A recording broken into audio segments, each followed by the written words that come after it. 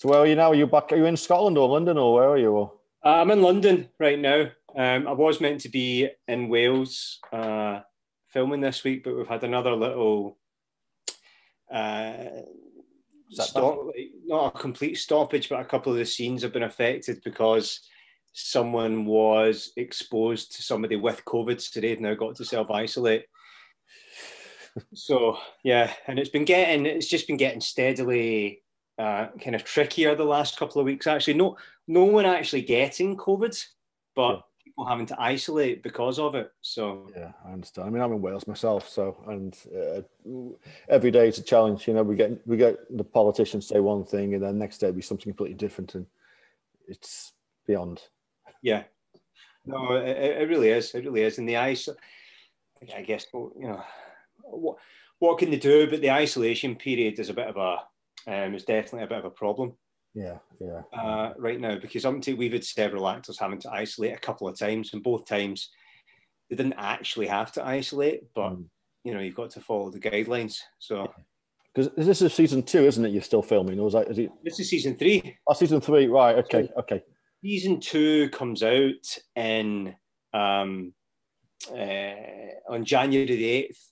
Right. Um, okay. I was just thinking that. I was thinking if they're still filming part of season two, I'm thinking they better pull the figure out. No, no, no, no. This is this is season three. It's quite. I mean, it's quite odd filming season three before season two has come out because normally, you know, you've had a reaction to the season that you've just done before you go off and do uh, the other one. So, I mean, I, it's maybe a good thing. I, I don't know. It depends if you know if uh, if the series is released on January the eighth uh, and it didn't go down well. Then we've only got a few weeks left of filming, but um, I don't think that'll happen. Actually, I think season two is. I, am thinking it's going to go down pretty well.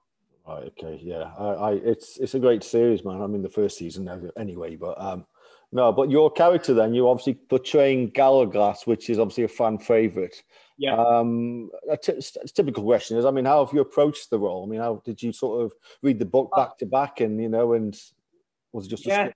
Yeah, I read the book. So when I got the part, I had uh, when I auditioned, I googled, you know, to find out a little bit about Gallowglass, uh, and quickly discovered that he was a fan favorite um, in the in the book series, and uh, and also, um, you know, he's described in the books and on online as well very much as being you know, a really big guy and, uh, and, and very muscular and this sort of almost gentle giant type uh, at times. Um, I'm five uh, five ten, so I'm not exactly uh, a giant. So from a physical point of view, um, I wasn't. Uh, I was a little bit um, unsure whether or not I fitted the bill uh, in that sense. Um, but when I read the books, I could actually see I kind of understood a bit more why they why they cast me because I think personality wise and stuff, I bring probably a lot of traits uh, to Gallowglass. So I then, after I got cast, I grew this beard, uh, which I feel like I've had uh, forever uh, now, and uh, and I basically started spending a lot of time uh, in the gym. And and not eating the usual amounts of ice cream and chocolate that I that I normally do. Yeah, because I've, I've seen some of your posts about the, the gym posts. You sort of take the um, take the piss about the, the gym gym wank or whatever post yeah. just for fun. I know you do it for fun, but you know, and you and you're, you're looking quite gym, man. Honestly. Oh, thank you. I mean, I kind of I do. There's a there's a lot there's a large side of myself that hates me for for posting that. I don't really. It's not my. Uh, I don't think it's necessarily who I am or kind of what I normally like doing, but it's part of you know, it's slightly just kind of just kind of showing uh, the work in a way because you never know what's going to make it actually onto screen. So there was part of me that wanted to be like, look, I have done it. You know, I've I've done my side of it, and also I know that um, you know from having been an Outlander, um, I know that there's a you know um, the book fans have got really high expectations, and my obviously the, the character Gallowglass, there's a lot higher expectations um, of of him and so uh, I kind of I want to do that as good at them, as good a service as I can. By the same token, you're never going to please all the people all the time, and when you get into that, you know you're you're always going to be too small or too big or too this or too that or whatever. So there's no point in uh, you know, winding yourself up too much about it. When you mentioned Outlander, I mean, obviously, I'm not saying obviously Discovery Witches and Outlander are similar, they, but they're very how how they're made. I mean, the, yeah. the huge, you know, productions, but you yeah. can sort of see some sort of, you know, you've gone from one to the other, and I mean, does that appeal to you? That sort of productions? There's definitely, you know what? I think there is a there's a there's a similarity there in a sense, and uh, I think they appeal to a very similar fan base uh, for a start. And I've since discovered that from my Twitter that I'm a lot of the Outlander fans were big Discovery of Witches fans, and in fact, when the audition came in and I googled one of the reviews I read of season one said a Discovery of Witches sits somewhere between Outlander and somewhere between Twilight. I don't know. I don't know how accurate that is, but I, you know, I understand the need to try and uh, c- categorize or you know put something in a box. Um, I think um, I was a bit. You know, I was a I was a I was a little bit. I I don't know if apprehensive apprehensive is the word, but before I auditioned for it, I did wonder if I wanted to get back in uh, to that sort of uh, world. Um, uh, again, um, I mean, like Outlander's been amazing, and the fan base is absolutely uh, incredible. But then, you know, the more I read about Gallowglass, and then when I wa- I hadn't seen season one at that point. When I watched season one, I absolutely loved it, and I didn't realize how good the cast was as well. You know, like from Matthew Goode to Teresa Palmer, uh, to Lindsay Duncan to Owen Teale to you know, there's yeah. just a host of great actors in it, and uh, and yeah, I mean that stuff does appeal to me as well. As a kid, I always loved fantasy. I, you know, I've always loved sci-fi, and it really struck me last week. Now, as we're getting kind of towards the end of season three, and I've been auditioning for some other stuff. I auditioned last week to play a lawyer in okay. this great new in this great new drama. But when I was going over the lines for that, it's present day, it's courtroom, and I thought, yeah, you know what? I'll probably miss playing a, an eight hundred year old vampire. like it kind of well, lawyers, lawyers are vampires. That's what some people say anyway. yeah.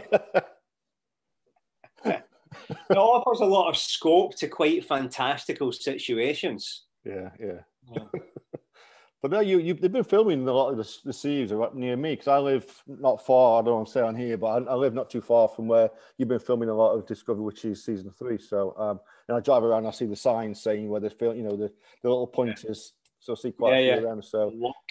yeah, yeah, yeah. Hmm? Whereabouts are you? Um, it's it's a place called Marcross, you know, Nash Point.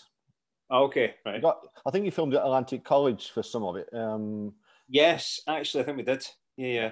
Yeah, well, you did. I know you did for definite. Yeah. No, no, no. I think that's. I remember film. I think I was in that scene actually. Yeah, that's about half a mile from my house. So. Okay. Yeah, so it's not too far. So it. Um, but no, with um, you, you mentioned obviously you, you know audition for like that, a lawyer thing, and obviously, and we just joked about obviously vamp, you know, they could be very vampiric.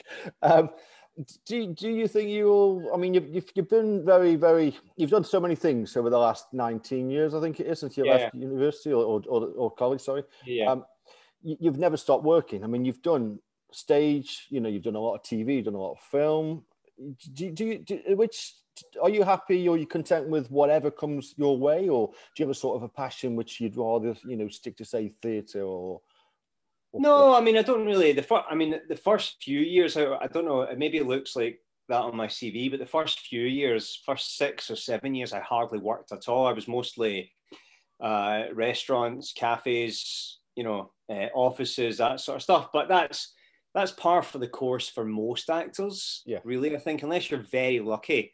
Uh, and it wasn't until kind of my late twenties, early thirties, I started getting some consistent work. My first, my first passion above all else, and it still is, is musical theatre. Actually, um, that's what got me into acting, and I've done a couple of musicals.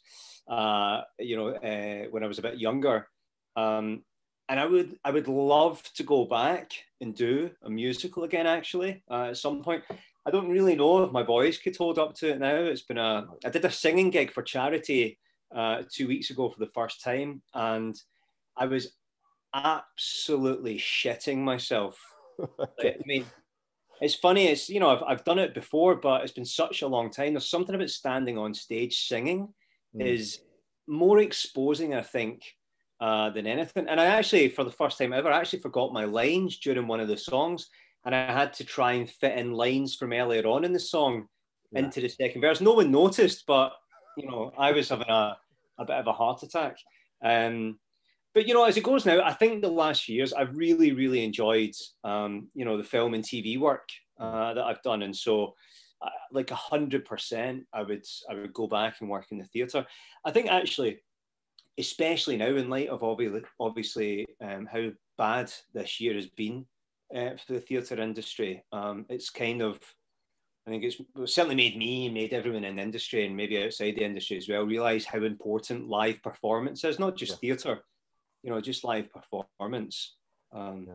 It's, it's been it's hard. I mean, it's it's you know it, it's sad, so saddening for the you know for live theatre and you know and even for live music as well. It's just it's totally. Just you know, and you must have so many friends that are you know out of work. You know, oh, I mean, listen, it, it actually it really hit home two or three weeks ago. I was um, on Twitter. Somebody posted something that was a link from. Um, uh, the ITN News, and an actress that I worked with nine years ago when I did Company, a musical up in Sheffield, uh, an actress called AJ AJ Cassidy, I think. Um, is it AJ Cassidy? Uh, she's um, quite a big, you know, uh, name in musical theatre. Uh, and she'd done a little interview with ITV News because her and her husband haven't worked all this year, and they're both delivering parcels for Hermes, um, a pound a parcel. Yeah. Um, you know, and if it doesn't get delivered, they don't they don't get any money. And um, that also on top of my wife actually the casting director for um, Ken Loach, and I don't know if you saw Sorry We Missed You. Yeah, yeah, yeah, yeah, yeah. I did. I did. You know, yeah. and it just you know it, it kind of really brings home that idea. And as she pointed out, she was like, you know, two kids and you know a month or two out of work and everyone's you know well, most people are struggling. Yeah no it is. It's um it's even for me i mean i can talk about you know quicker on me. I had to i went from doing a lot of writing gigs being in the maldives qatar come back and then nothing. And then i had to um no mags weren't going to print so i, I worked for asda delivering food wow i did that for a few, few months i still do like one a day a week just to because i give something back but now I'm, obviously this is all back up and working again it's done, it's done me a favor this year in, in a weird way. It's got me to where I am now, very, very fortunate, but I, I kept at it, you know? Um, yeah. And positive. But yeah, for a few months, I was doing Asda, getting up at like six in the morning, delivering food around the Welsh valleys, which you probably know.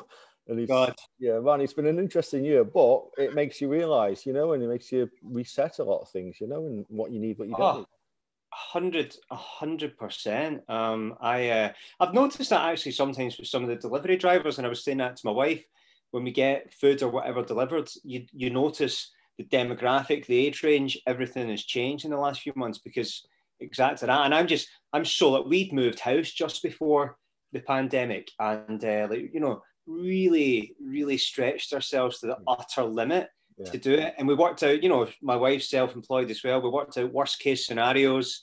And nobody's worst case scenario was a, a worldwide pandemic that would shut down your industry. You know, uh, unless in January some people were really prescient and saw what was going on mm. in China. But um, so I was, I'm just, I'm really, really, really, really lucky that I had uh, Discovery of Witches uh, coming back up. I mean, I'm always because I spent so much of my early career unemployed. I'm always grateful but um, uh, particularly so this time, I've been very lucky. And so you say you've, you've obviously seen it. I mean, I did glance at your CV, and it, it, seems like you've been working every year. But I know you, they obviously you can make the CV look amazing. But I, yeah. I know I, I, knew you'd obviously have to get a little part-time jobs or full-time jobs just to be an actor. You know, like we, we all do with writers or whatever. Um, but you've obviously worked hard to get where you are. You know, you've never given up, and the motivation. I mean, that's is that you've always wanted to be an actor from from young, or yeah, I mean, to be honest, as long as I can remember, like really wanting to do, I always like when I was at primary school, uh, I quite liked doing the, the school musicals. And then when I went to secondary school, I got really into singing and doing the school musicals. And it was always something that I flirted with the idea of. But 15 years old, 14 years old, you know, growing up where I, I lived in Scotland, we had, and not I really, I'm not into the uh, I don't really care about the working class thing or not, but you know, I grew up in a very poor council estate. We didn't have any money, um, you know, or much money. Uh, so the idea of going to one of these drama schools and stuff, I just I didn't know how you did it. I didn't know anyone that was an actor, so you just don't really, um, you know, I had no idea how the industry worked, and so I kind of, I, I you know, you kind of stumble into it almost. I went to drama school, yeah, came out of drama school and thought, well, I guess you move to London now and you just become like a big star or something. It must be quite easy. Move to London, queue, uh, you know, six or seven years of uh, of mostly unemployment. yeah. So oh, this is uh, this is frozen. You still there? Yeah, oh, there we go. No, no, just, uh, the screen just paused for a minute. And uh, yeah, you know, so the first six or seven years out of drama school were a real rude awakening. Um, but I think I'll, I'll just move my computer. Actually, say my internet connection is unstable. That's fine. I'll go through to my bedroom. Normally it's my um, internet connection, mate. So the, I, I, live, I live in the middle of nowhere. Well, mine should be like I've got bloody Sky Fiber, whatever, and it's always saying how good it is, but it's it, it, it's only ever at times like this where it suddenly is shite. Yeah. Uh, um, but I think you know, yeah, I definitely had. I remember when I was about twenty six or twenty seven, mm. and it had been you know a struggle. And my dad said to me at one point, you know, why don't you? Would you ever consider, you know, going and retraining and becoming a teacher or something? And I was like, look, I've got nothing against that, but I just I, I don't want to give up on this until I've given it absolutely sort of everything. And you know, in very dramatic actory terms, I was almost like I'd rather, you know, yeah. I, would rather I'd rather die penniless and you know like but at least having really really really followed yeah followed my dream because I guess you start to question you know what what is life about what am I what do I want to do and at that point in my life um pursuing not to sound cheesy, but pursuing my dream was more important than having a steady wage or you know having material possessions uh, or whatever. Unfortunately, uh, I got. I, I, think it's a, an, you know, I think it's part persistence, part luck, and part talent or something. And um, you know, but what was it? What sort of role that made you realise that you know this this was the real deal. You you were making it. You know, you sort of. Think you can tell your dad, and your dad is like, okay, you don't need to become a teacher. uh, I think actually when I was 27 years old, uh, I got a part. Uh, I got one of the lead parts in a West End musical called Cabaret, and that was, uh, you know, it had been my that had literally been my dream as a kid to play a lead in a West End musical and I, I, was working in a restaurant at the time called Carluccio's, which I think they've now gone under as well, haven't they? Yeah, they have. Yeah, yeah. Um, I was working in Carluccio's, and I remember I was waiting to get the phone call on the Saturday morning to hear if I got the part. Uh, and if I didn't get the part, I was going to be going back into Carluccio's the next day. Yeah. Um, but got the phone call, got the part, and that you know, I still had, I still had, after I finished that job, I still had times of unemployment and I still have had and continue to have struggles and get knocked back for, for a lot of auditions. But that was the one, and I don't know if you've had a similar thing in your profession as well. That was the one where I thought, all right, I can do this. Yeah, yeah, yeah. I'm, I'm not, because you start to go through, when you're younger, you're kind of, I was certainly delusional, and I also just didn't understand what acting was or what the career was. Mm. And so you start to think, was I just kidding myself on? You know, yeah. Maybe I was maybe I was good at school, but the reality is I'm not good enough in the real world. Um, so that was a real, um, you know, kind of changed things in my head. I think. And, and, did you pinch yourself? For me, I, I, when I've been in some situation like like you say about you know where I know that I've done really well, and I still pinch myself. I literally do pinch myself because I'm thinking I'm in this meeting, I'm doing this, or I'm in, I'm in this sort of nice hotel, or I'm doing this. I pinch myself thinking, is how has this happened? But I know it's hard work.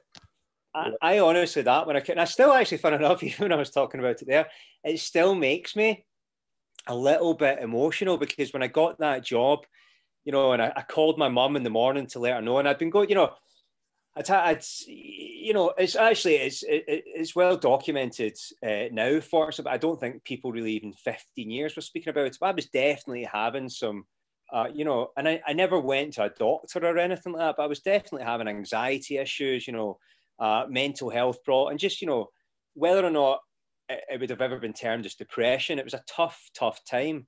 And so, you know, for your mum to see you going through that as well, I think I remember when I called her up, she burst into tears on the phone. And then I started crying. And I remember the first day of rehearsals, um, Julian Clary was in it. Yeah. And I grew up watching Julian on TV as Sticky Moments. I used to watch him on a Friday night. Uh, Amy Nuttall was playing Sally Bowles. And again, Amy was somebody who I'd always known as a TV star. And it was just really like, fuck, how did I? I was I was serving customers on Friday. Yeah. And I'm now in this West End yeah. uh, musical. It was really, and I try. Do you know? I still try. and I have to try and remind myself of that sometimes. You get, you know, not to take anything for granted, or sometimes when you're on set and you're not having a good day and you can get a little bit moany or something. It's good to just take a step back and look about you and be like, wow, yeah. I'm doing what I wanted to do. Exactly. You know, you can just look around you and just think, well, you know, where, where would you want to be? And, you know, and it's like where you have been, but now where you are, you know, and, and, it, and it's, it's obviously a tough journey for, for all actors or writers or whatever, whatever profession you do. It's tough. Totally. The whole, you know, life is tough, but you've got to make, you know, you make, um, yeah, I think you make your own sort of you can make not make your own path to where you want to be, but you can sort of help, you know, and think, yeah. I think so, definitely. I, I, I did like, I think that's what I realized when I got to about 26 or 27. I also wasn't really helping myself. It was easy to blame everything else and be like, oh, it's their fault. It's, it's him. Yeah. My agent's not good enough. You know, this isn't good enough. And then you know, I had to kind of take a look at myself and be like, right, well, am I applying myself the best I could? Am I being the most professional? Uh, you know, am I preparing as well as I could? And the answer to a lot of those questions was no. Mm. Um, and I think once I started taking some personal responsibility, I started getting luckier. Yeah. you know. Well, it's down to your skill, man. You know what I mean? It's it's it's mm. you know you you are obviously a very good actor because you've you know you've, you've been in some great productions. Um, so it's you know it's tantamount for you know for yourself. You know you are wanted. You know you're getting good work and you are give, giving good work. Yeah, yeah. I thought, yeah. I mean, again, I think that like, I think I've got. Uh, I, I, I, I feel personally I've got better as I've as I've got older um, as well. And again, maybe that's the same in in all jobs. But I've as much as when I was a kid or when I was at drama school, I was um, quite fixated on the idea of I wanted to come out and just, you know, be like Ewan McGregor or something, or just because I, I, didn't, I didn't know what the level below that was or what a jobbing actor was. I just saw yeah. movies, uh, and actually, those years of like unemployment as well, my confidence completely went. I I liken acting to a lot of um, sports actually, like football and stuff. You know, when the goals dry up, your confidence goes. You know, you yeah. can be playing for a Vauxhall Conference team, but actually be capable of playing in the Premiership, but you're just not getting, you know, the exposure or da da da da da. And uh, my confidence completely and utterly went, and it took me, you know, I think from job to job to job to job, and then uh, in my 30s, I've had better parts yeah. uh, as well, and my confidence has grown with that. Um, so, and anxiety is okay then. You know, you you coping with that. You're coping with all the anxiety and things like that. It's all your yeah. I think you know. I think like you know a hundred times better. Yeah. Uh, than I ever was. Anxiety is a really funny thing because you, you know I've never thought of myself as an anxious person uh, per se, but then sometimes I think you know um, I've been involved in it. You know, I've, I've been helping out every now and again with a charity in Scotland called the Chris Boyd uh, Mental Health uh, Charity, and I've always been like, you know, I've done, uh, for lack of a better expression, you know, a lot of work on myself in the past, and I've always been interested in. Um, you know, uh, certain self-help books, or uh, I've gone to therapy in the past to try and, you know, help uh, myself break through mental barriers. Mental barriers, like actually convincing yourself, convincing yourself that you can't be successful, like whatever success means. And I don't mean just in work terms. I mean just whatever success is for you. And I think, uh, well, per- I, I, am certainly my own worst enemy, and I think most people, uh, you know, most people are. Uh, and I wouldn't change any of that now because, in a way, I'd love to know what I know now as a 26 year old, but by the same token, yeah, yeah. It clearly that clearly wasn't my path. And if you look at it, you know, the great saying that it's about the it's about the destination, not the journey, then actually I wouldn't have learned everything I've, I've learned. And I don't now, you know, I look back on those times working in restaurants and stuff, and you know, it kind of made me who I am. Yeah. Um, yeah. So I wouldn't swap forget, any of that. And you, and you don't forget them times, you know, you don't forget where you've been and what you've come from. And, you know, I mean, there are some actors out there that do sort of, you know, live the dream, but then they portray a certain image and it's not a good one, you know. But I I, I like guys like yourself and, and ladies like that have had to work you know, go to college or university or whatever and, and drama in, in school and but had part-time jobs and full-time jobs and then been without an employment between jobs. It makes yeah. you a stronger person. And I think people warm to well, a lot of people do warm to you as actors, you know, from the fan base because they're real people, do you know? Yeah, yeah, yeah, yeah. No, I think so. I think so. And I, I also look, but you know, I, I, look back on those times, you know, with with real fondness uh, as well. And I met, uh, especially working in restaurants in London as well. I met like a really fascinating cross spectrum of people, which coming from a town like Kilmarnock, where the demographic was pretty much, you know, the same. Yeah, yeah, it's like it. Yeah, you know, I was suddenly exposed to so many different cultures, you know, so many different people, so many different languages. And, and that was actually one of the things when I moved to London, I, I loved that straight away. I loved it when I sat on the tube.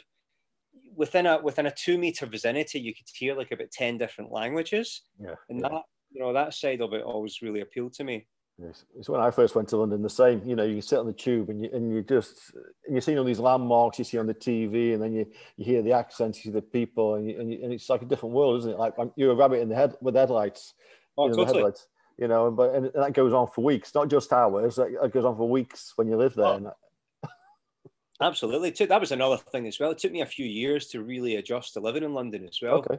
Okay. I think, you know, going from a town like, you know, Kilmarnock's just quite a small town, but uh, it, you know, it took me uh, definitely the first three or four or five years to kind of get to grips uh, with with London. I think it's quite um, especially when I think that's do you know what maybe that's the same if you move to any big city or anywhere unfamiliar when things aren't going your way as well.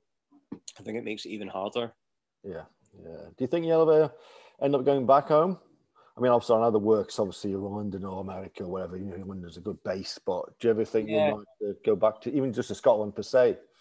Well, we talk, you know, we, we, my wife is, is from Glasgow, and so, and she's only lived in London for six years, whereas I've been here for, for 19 years. Um, excuse me. So basically, I've been here my whole adult life. And even though I'm very close to my family still in Scotland, uh, and I've still got some great friends up there, my my adult life has been built down here. Uh, whereas my wife spent most of her adult life uh, in Glasgow, so yeah. she's got I think she's got a slightly stronger pull to it than me. But funnily enough, her career now as an actor, I can kind of live anywhere, but her career is very much um, kind of London centric. Yeah. Uh, now, obviously COVID is slightly throwing everything up in the air right now, but yeah. working on the assumption that the vaccine will work and we will get back to, yeah. I mean, hopefully get back to normal. I'd rather get back to normal than the new normal. yeah, I know. But I have a saying though, I think my wife, you know, I think the women always choose or decide or get to win where we get to live. So your wife's probably the same. yeah, well, you know what? I have certainly, I have learned in the in the years that we've been together that when it comes to making decisions, she's actually genuinely just better at making decisions than me as well. I'm not, yeah, I'm not a fantastic decision maker, so I will more often than not just be like, yeah, you know what. Uh, we still moan though. We still moan about it. I know, a hundred, a hundred percent, and I'll still moan about the decision after it's been made. well, then eventually say that was your decision, and then you argue about that. So no, I made the decision. No, you didn't. I did, and yeah. I don't know. You know what? Long term, though, I think I do. I definitely, I love Scotland and I, and I love Glasgow and I love Kilmarnock. Um, I mean, there's absolutely not a chance that we will ever move back to Kilmarnock because my my wife wouldn't want that. You know, it would be Glasgow.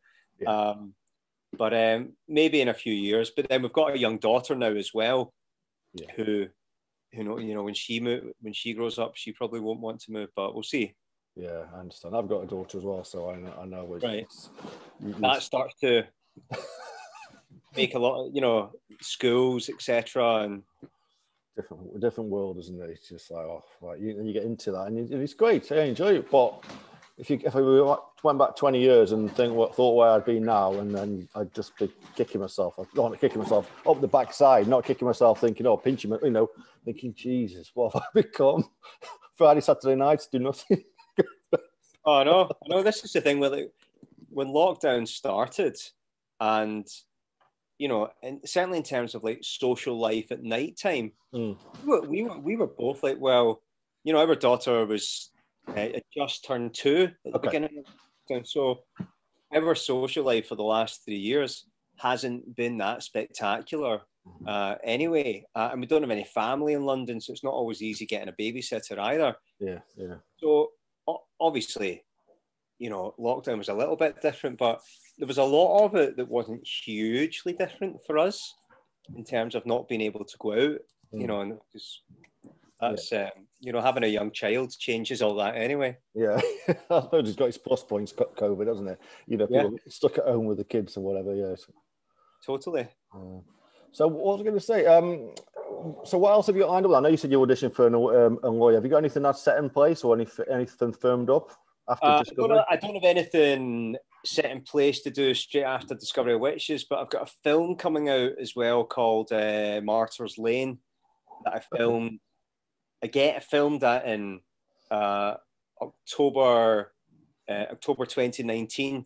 Um, actually, right in the middle of, I had a month off from a Discovery of Witches, uh, and I was able to go and, and, do this film, which was great as well because it was so you know because in Discovery of Witches I'm playing this, uh, you know, qu- uh, quite not quite large on life, but quite a large kind of Scottish warrior uh, character, uh, and in a, in the film I played um, a minister, uh, an English minister who's quite just like a kind of you know, good, nice, upstanding, oh, posh speaking, uh, yeah. decent guy. Yeah. And it was quite a different part from uh, it was quite a different part from uh, uh, from Gallowglass. It was good fun getting to do that at the same time, and I think it was a really beautiful script um, as well. I mean, it's ostensibly a horror story, kind of ghost story, but horror um, essentially, and um, about uh, loss Okay. Uh, and the it's got Denise Gough was in it as well, who's been doing really well the last few yeah. years. She, she, did a play a few years ago that exploded. Um, but uh, the stars in it really are, are a couple of young girls uh, who were absolutely fantastic uh, in it. So I'm I'm interested. Uh, is that I'm interested. out soon, or is that out in digital? Well, it was going to be out this year, but because of uh, because of COVID, um, I think they've been. It's one of those films that hopefully will get into some festivals uh, yeah. and do the festival circuit. So, but it was a little bit. We had to go into a reshoot. Mm. We couldn't do a reshoot until September uh, yeah. or something. Um, and um, I mean, my, my actually, do you know what? One of my uh, one of my best vanity moments on that was because I was in the middle of doing Discovery Witches and I'd been hitting it hard at the gym. And I came in for costume. Uh, the costume lady said, You're actually far too muscular for all the costumes. Which I was like, Well, you know what? I'll take that. oh man, I, I, wish I was like that. I mean, I've, I've got to get myself in shape. I'm not fat at all. You know, I'm, I'm quite trim. I'm five five yeah. ten, five eleven, probably the same height as you. Yeah. But you know, I'm but I'm older than you. I'm 47, so um, so. Uh, listen, there's there's no motivation like uh, knowing that you're going to have to get your top off on camera, but also like that the character has been consistently described as like some sort of muscular beast. Yeah. So.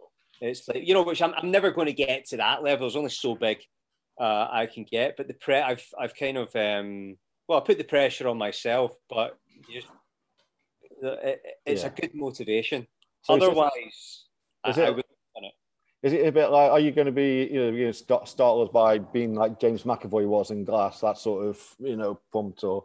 Yeah, exactly. That's, you know, that's, uh, um, you know, I, I know that, you know, I know that James works really, really hard uh, you know, really hard for that. And, yeah. uh, and in fact, actually, I asked him for a couple of uh, pointers when I was getting uh, getting in shape for this, kind of what he did um, for that. So it's uh, yeah, actually, because funnily enough, I think when he was doing that, when he was getting in training for that, for the first one, he was still doing X Men.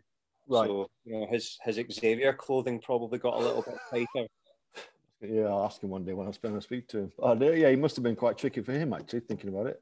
Um, yeah. But you've you've tell me about yourself. Then you back. You've you've done quite a few things with Noel Clarke over the years, haven't you? Yeah, um, yeah, yeah. yeah. You, you, would you? Is that something you want to go back to? Because he's he's obviously very talented as a director and a writer, and obviously an actor yeah. and everything else he does. Yeah, hundred percent. Noel's actually Noel's been uh, Noel's been one of the um, uh, consistent uh, people in the business in my career who's always got in touch uh, and offered me work or, um, or or got me in for stuff like. And it's funny, like when I did four three two one, I did a tiny part in four three two one, but I got an American representation out of that, and so I went off to LA for a little while and um, spent quite a lot of time in LA. And even though nothing ultimately uh, came of it, that was a brilliant experience, and I loved all the time uh, that I spent there as well. That was a real sort of I, I don't I, now looking back, I don't really care that I didn't get any work there, but from a life experience point of view, um, I loved it. Uh, you know, and I've done what else have I done with him? Legacy, um, uh, a bit in Brotherhood. But the best thing that he ever, uh, the best thing that Noel ever kind of collaborated or, or helped me on, I made a short film two or three years ago, and I was trying to. I had written the script and for about a year I was talking about trying to get it made. But short films, you probably know, but short films are actually quite difficult to get made because nobody funds them really. So you have to kind of finance it yourself. Crowdfund or whatever it is. it crowdfunding or something like that you use or you can do? Yeah, you can do like or Kickstarter or you know those sort of things. And um, uh, I happened to Noel was asking me what I was up to, and I was just chatting about this and chatting about that, and I mentioned this short film script, and he said send it over. He read it, I mean, I don't know. He called me back an hour or two hours later and he said, All right, let's make it. Mm. And I was like, What? And he's like, Yeah, let's do it. Jason uh, and his producing partner, Jason, he said, Jason loves it as well. So uh, have you got a director in mind? And I did have a director in mind at that point. He said, Right, well, let's do it. And then Jason, who is his producing partner, actually, Jason Maza, he ended up directing it. And uh, we did a Kickstarter campaign. Um, we raised, thanks, I mean, really thanks to Outlander fans we raised thirteen thousand pounds in like eight hours or something. Crazy. Yeah, it blew me away. I mean, it was honestly crazy.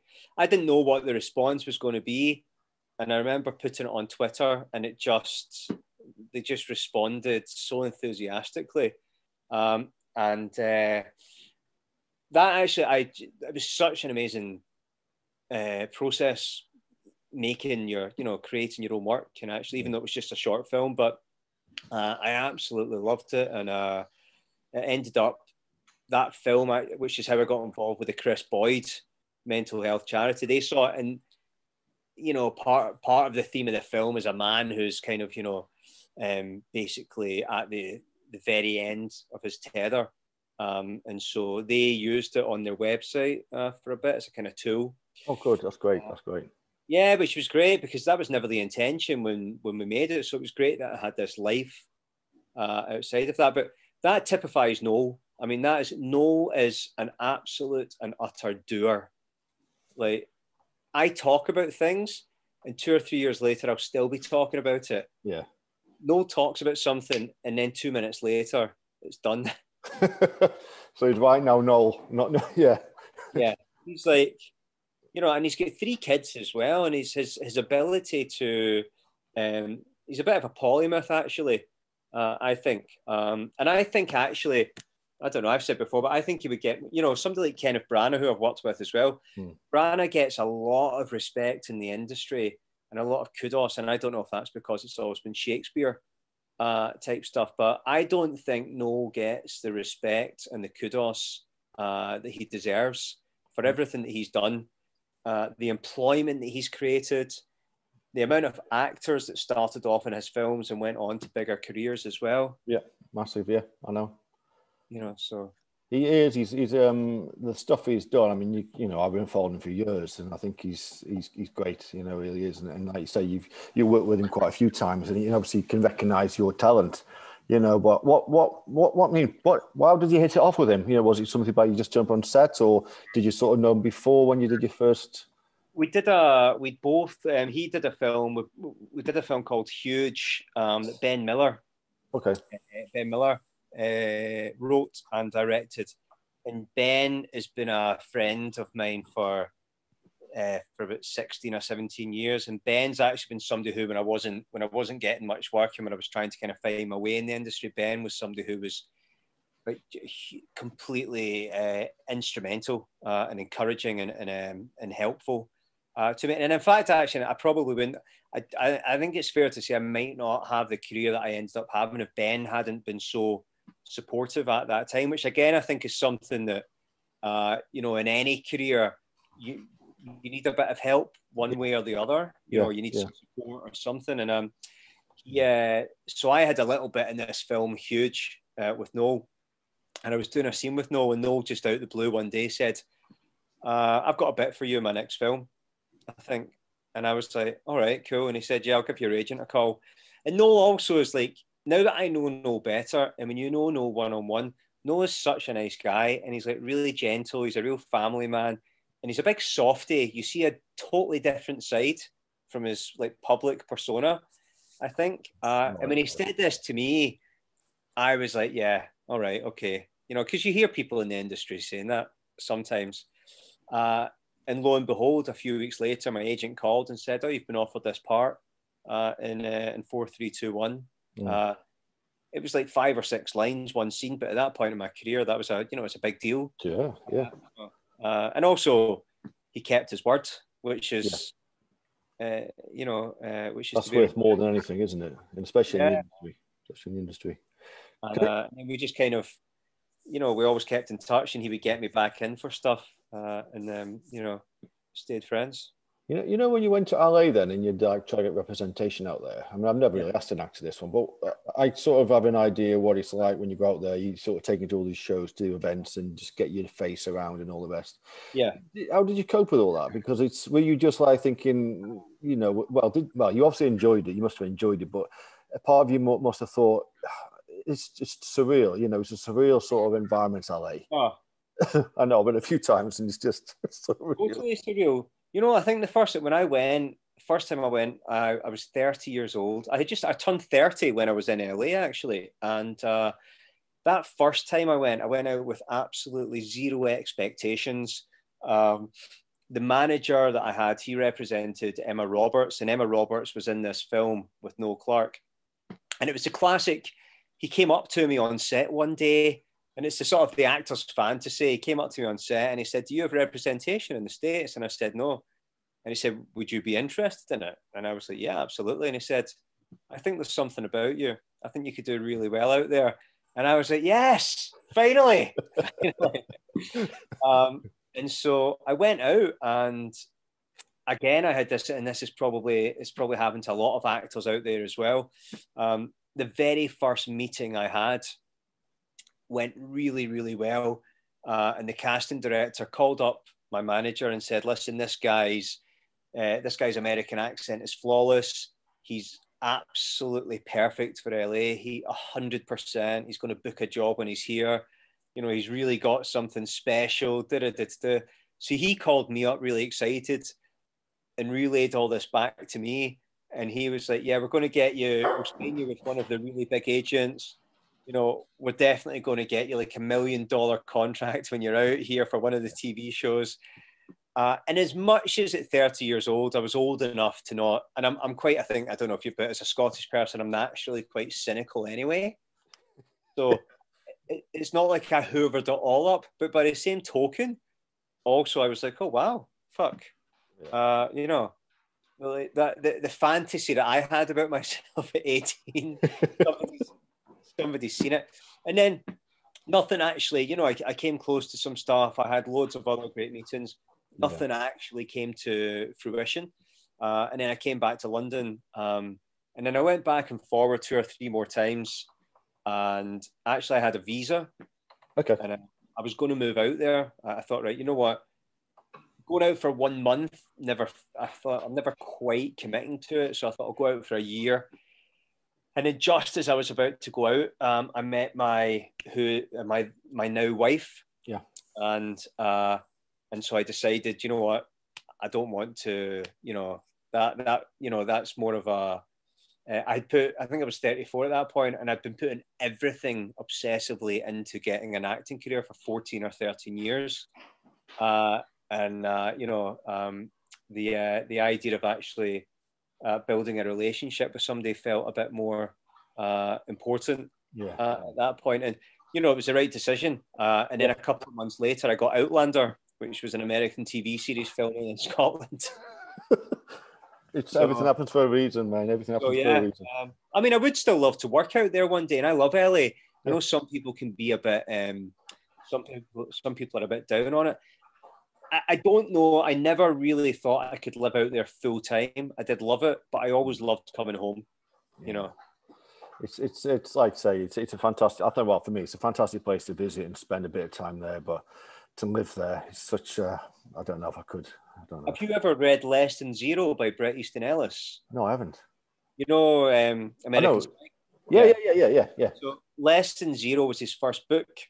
Okay. And Robert Downey Jr. did the movie of it, and it's basically about LA, LA rich kids mm. like Beverly Hills and stuff, driving unbelievably fast cars, living in huge houses, and it's completely vacuous, kind of drug fueled and empty, and da da da da the first time I went to LA, I got invited to a party up in Mulholland Drive um, by someone who I didn't really know who she was, but I didn't know anyone else. So I, I drove up to this party in hmm. Mulholland Drive in my rented Volkswagen. Pulled up outside the house, which I don't know, it was maybe like $10 million house or something. Every car outside was like a Porsche, a Ferrari, uh, like a brand new Range Rover, Lamborghini, etc., etc. I went into the house. Uh, there was an infinity pool out the back overlooking the Hollywood Hills. That was one of those surreal moments. Yeah. That was yeah. like, fuck, I'm actually in a movie right yeah. now. Spoke to the girl who had invited me to the party. She was absolutely off her head and I don't think knew who I was. Then started speaking to some other people and I was like, oh, are you here because of, I can't remember her name, but such and such. Okay. No one knew why they were there either. No one seemed to know each other.